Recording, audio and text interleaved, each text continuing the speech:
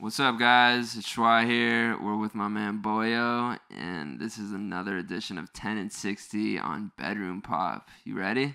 Mm-hmm. Mm-hmm. Do you still sleep with a stuffed animal or a blankie? Uh, I still snuggle with a pillow. Wow. So when my girlfriend's not around. Where are you from? West LA. What's your middle name? Uh, my full name's Robert Thurston Lewis Tilden. So Thurston and Lewis. One thing you can't live without. Probably uh, Arizona iced tea, raspberry flavored. Best album of all time. Oh shit.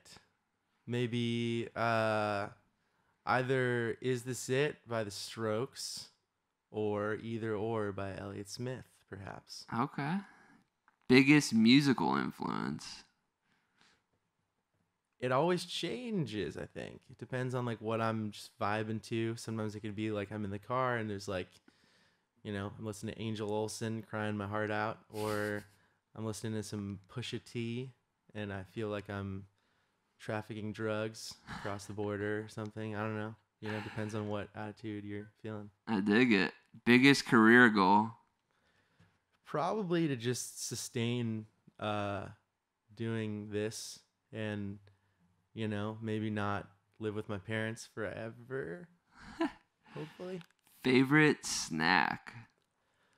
um i like i've been really into beef jerky like teriyaki flavor maybe some pep cracked pepper vibes Ooh, yes. Yeah, you know I dig saying? that. First AOL or AIM username. Uh, um, for some reason I couldn't make one. Like I don't, I don't, I don't think my parents. I don't think it was like a parental thing, but I think I just couldn't make one, or I didn't have an AOL account. It was before your time. It was well, no, it was during my time, oh, okay. but it was like I just, I think I had a Gmail, and I didn't want to make an AOL or something, so I took my friends, who was super into Blink One Eighty Two, and so his was like called like Flip One Five One S. So that was yeah. There you go. And what's your favorite emoji?